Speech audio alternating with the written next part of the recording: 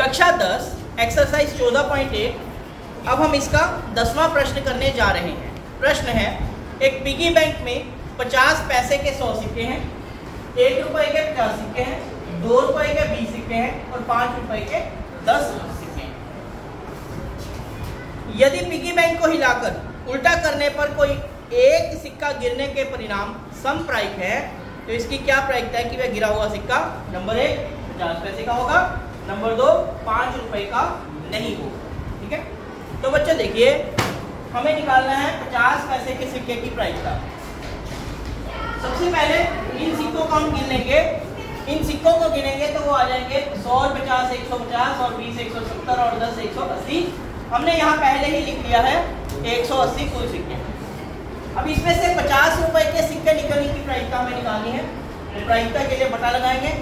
जितने कुल सिक्के हैं वो नीचे लिखेंगे वो है एक सौ अस्सी और पचास रुपए के कितने सिक्के हैं? सौ। तो ये हो गई पचास पैसे का सिक्का निकलने की प्रायिकता ज़ीरो से ज़ीरो काट दीजिए।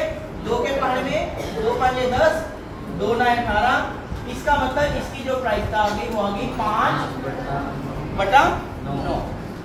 इसके बाद अगला भाग है पाँच रुपए का सिक्का नहीं। फिर से बटा लगाएँगे।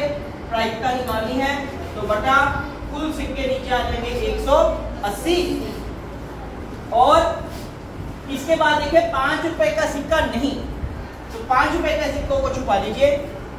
180 में से 10 सिक्के हटा दो, बाकी कितने रह गए? 170 इसका मतलब कितने सिक्के हैं जो पाँच रुपए के नहीं है? 170 सिक्के। तो वह 170 आ जाएगा ऊपर।